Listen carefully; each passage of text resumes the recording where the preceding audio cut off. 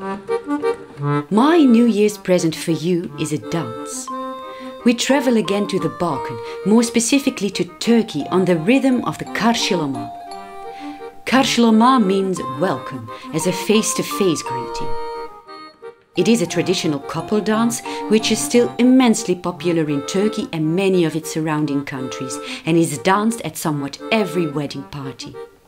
In the song Dere Geliyor, the narrator is impatiently waiting to get married.